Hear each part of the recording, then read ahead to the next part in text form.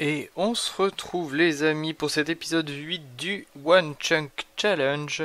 On se retrouve comme promis devant euh, l'usine à mob que je vais vous présenter dans cet épisode si tout se passe bien. Euh, alors. Donc, donc, donc. Donc j'ai laissé un petit passage et je, vais vous présenter euh, à quoi ça ressemble. Alors attendez, on va enlever les shaders parce que ça va gêner la visibilité. Ok, voilà. Alors, donc, euh, j'ai fait quelques petits aménagements.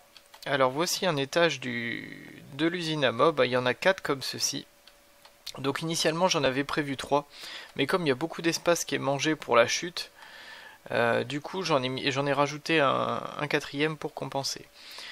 Euh, sachez que la disposition des, dispensers n'est pas forcément optimale. La taille de la, euh, de la salle, enfin d'un étage n'est pas optimale forcément non plus. Euh, l'idée c'était, pour moi c'était d'aller vite. Hein. Je pense qu'il faudra que j'aille faire un tour en créative pour histoire d'optimiser tout ça. Mais l'idée est là. Hein. L'idée est là. Donc, euh, comment ça se passe? Euh, Donc là, j'ai mis des torches pour éviter que les mobs spawnent dedans, hein, parce que euh, quand on enlève les torches, il fait complètement nuit grâce aux dalles ici placées comme ceci.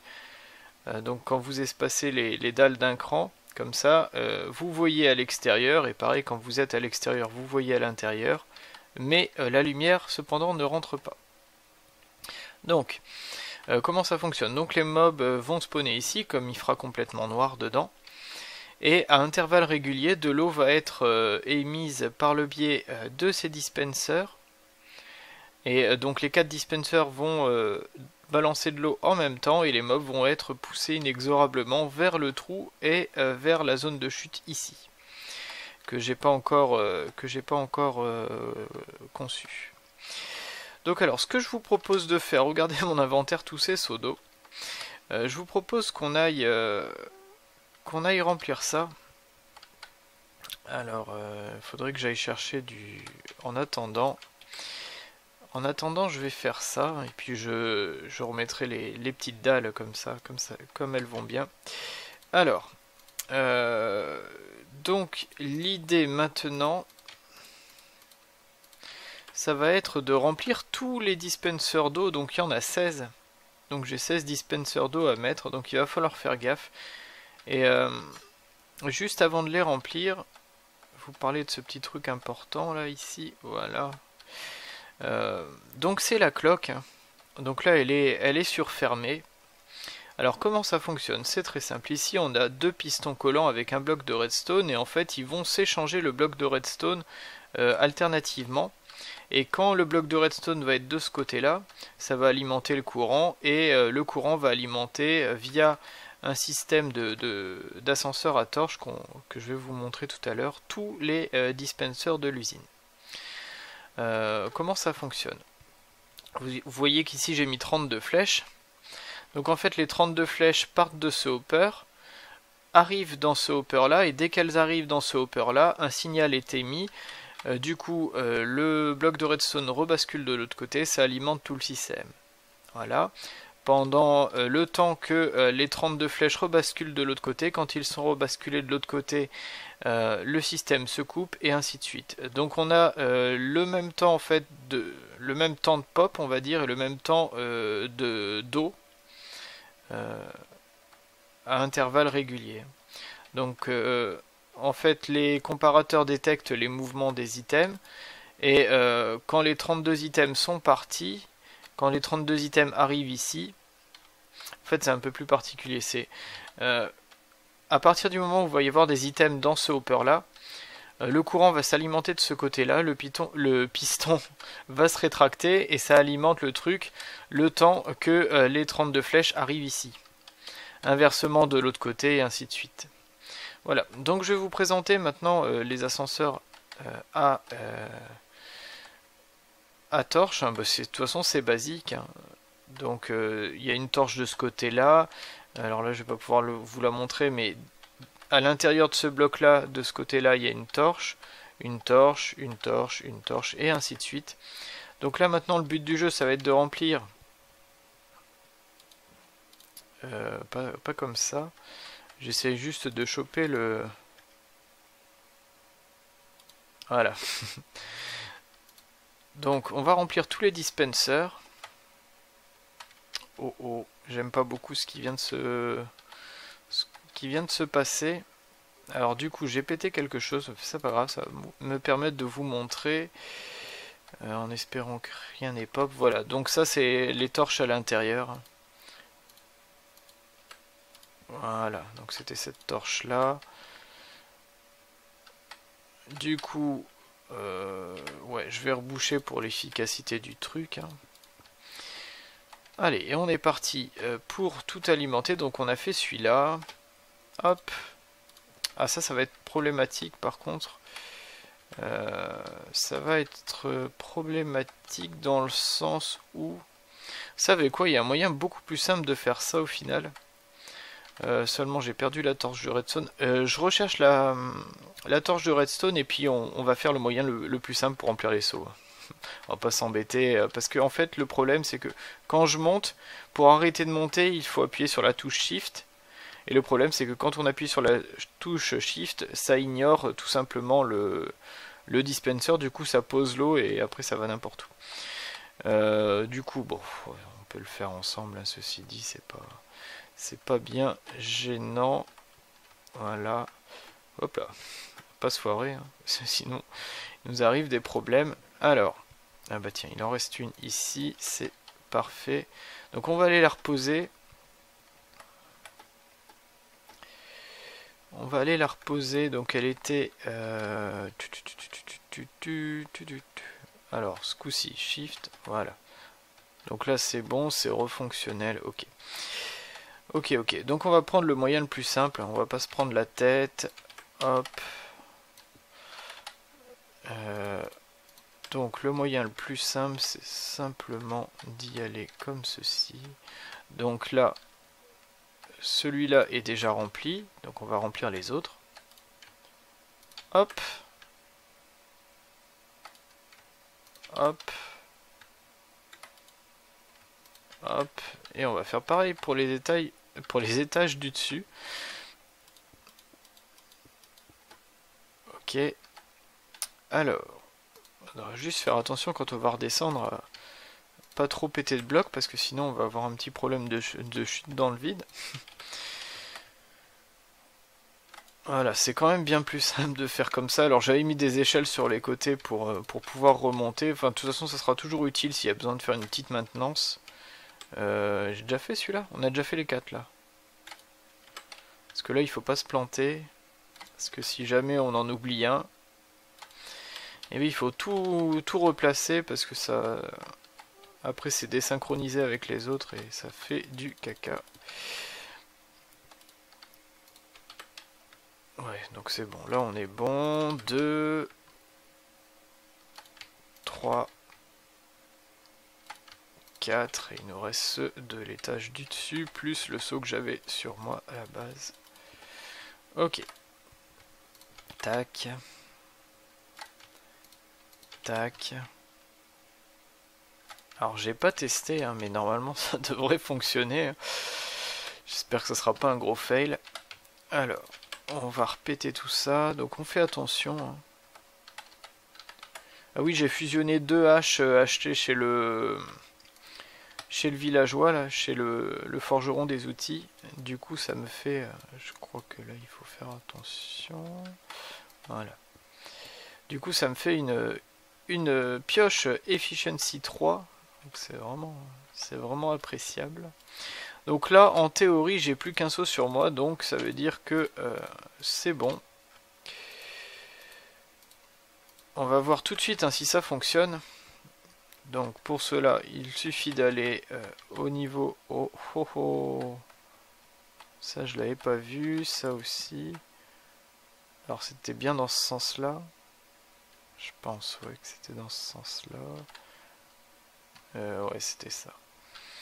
Alors du coup, on va lancer le machin, on va voir si ça si ça fonctionne correctement. Donc là, en principe, l'eau va enlever toutes les torches et du coup, euh, l'entièreté de l'usine va être spawnable. Ok, donc vous voyez, l'eau euh, est dispensée euh, le temps que le bloc ici alimente la ligne. Et dès que le bloc va repartir dans l'autre sens, oh oh, bug d'affichage. Ce qui est marrant, c'est que ça...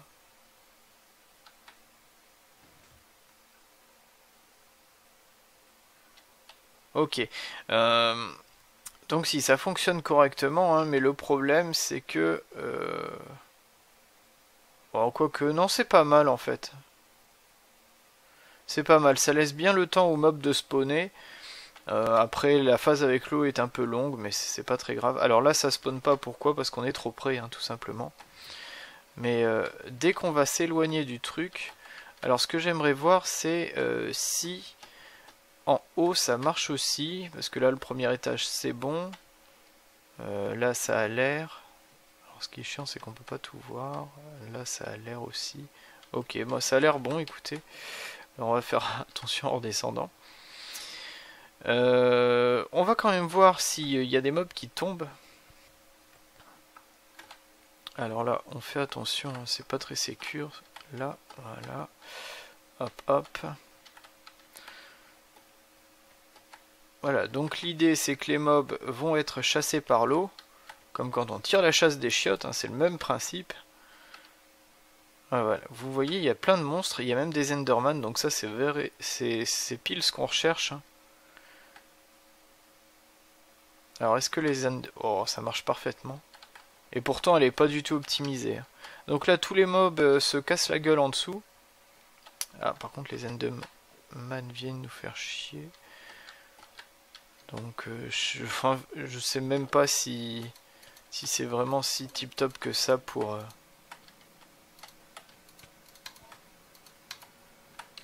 On va essayer d'éviter de se faire tuer. J'aimerais bien le tuer, lui.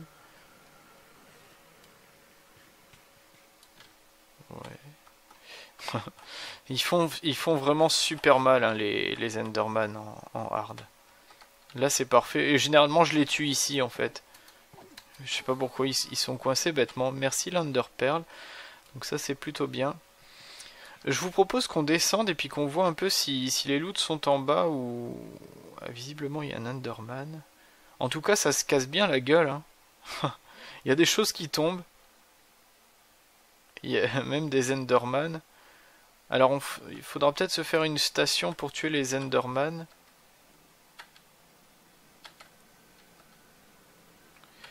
Euh, oui, et puis il faudra faire, euh, il faudra aussi sécuriser les bordures parce que si, jamais on se prend un effet, un petit, un petit coup de frisson. Si jamais on se prend un effet de, recul de knockback par un, par un Enderman, euh, on perd tout le stuff et ça c'est vraiment pas cool. J'aurais dû ramener un lit ici d'ailleurs pour faire passer la nuit là peut-être. Parce que alors l'avantage de mettre des dalles c'est que l'usine fonctionne aussi le jour. Et regardez moi tout ce qui vient de tomber là. Pluie de mobs. C'est vraiment pas mal. Alors je, crois qu'il y en a encore qui passent un peu sur les côtés. Donc euh, ouais, il y, a de quoi faire. Oh mon dieu. Alors C'est assez impressionnant. Donc quoi, on va regarder le temps de descente, ce qu'on a... On a déjà looté quand même pas mal de trucs. Hein. C'était juste le temps de descendre, ça. Donc euh, si on reste à FK ici pendant, pendant 30 minutes, euh, on va avoir un sacré loot. Euh, ce que je vous propose, c'est que moi je vais faire la zone de collecte ici. Alors ça, par contre, à mon avis, ça vient d'une zone qui est mal éclairée là-dedans. Bizarre ces bruits. Il crève de quoi? Ça c'est un zombie dans la lave ça. bon, je vais faire la zone de collecte, je vais sécuriser les bords aussi parce que ça me fait un peu peur. Et, euh, et bien on se retrouve après. A tout de suite. Et on se retrouve les amis, pluie de mobs. Alors normalement, ouais, je nous ai fait une, une planque AFK qui est anti-Enderman, euh, du coup ils peuvent pas passer. Et si on regarde comme ça, bah, tout simplement, euh, ils nous agressent. Enfin, ils sont intéressés par nous taper, mais ils peuvent pas. Mais nous, on a juste à donner un petit coup d'épée. Euh, ce que je vous propose, j'ai envie qu'on fasse un test, c'est de ramasser tout ça là. Et en fait de... Ah bah j'ai un coffre qui traîne là. Ouais, donc j'ai dû mettre des trappés de chest pour, pour combler ici. Euh, donc ce que j'aimerais qu'on fasse, c'est un petit test. Euh, je vais mettre tout ce qui est des machins de monstres en fait. Euh, Ender Pearl. Et l'idée, ça serait de voir à peu près combien on en obtient en, je sais pas, une demi-heure, une heure. On va dire une demi-heure, puis on multipliera par deux. Alors le seul truc chiant, c'est que visiblement, euh, j'ai mal calculé ma hauteur de enfin c'est pas que j'ai mal calculé ma hauteur de chute c'est que comme on est en normal certains euh, monstres ont des armures et certains peuvent avoir l'armure euh, peuvent avoir des bottes qui ont l'enchantement Feather Falling. Et du coup du coup bah, c'est complètement cacaté. Mais au pire des cas on va on va faire une parade c'est pas grave je vais juste mettre tous les loots ici. Euh, je sais même pas si j'aurai assez de place en fait. Oh là là, regardez, ça tombe tellement.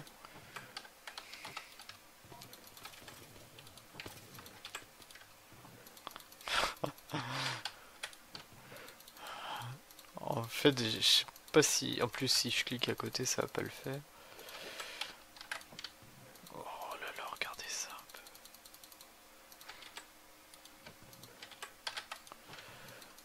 Voilà, écoutez, les coffres sont vides, on se retrouve dans une demi-heure exactement. A tout de suite. Et on se retrouve, alors ça fait 28 minutes et des patates. Juste tuer ce machin là.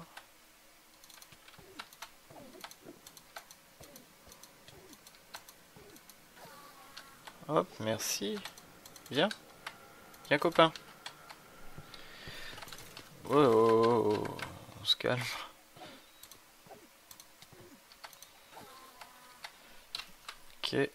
Donc euh, ce que je vais faire c'est que à 30 minutes je vais mettre le, jeu en peaceful.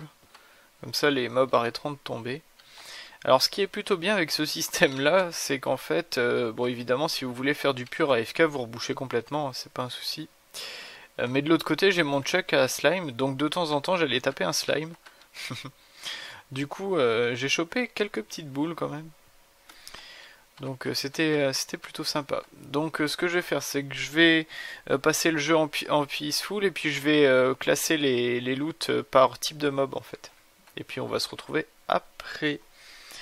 Et il reste 10 secondes. 5, c'est la dernière vague.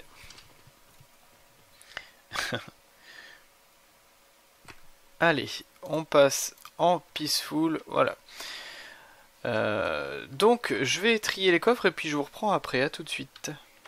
Allez, et on se retrouve les amis. Alors une quantité assez folle au final. Hein. Euh, sachant que c'est qu'une demi-heure. Hein. Donc si vous voulez, si vous faites une heure d'AFK, vous augmentez par deux.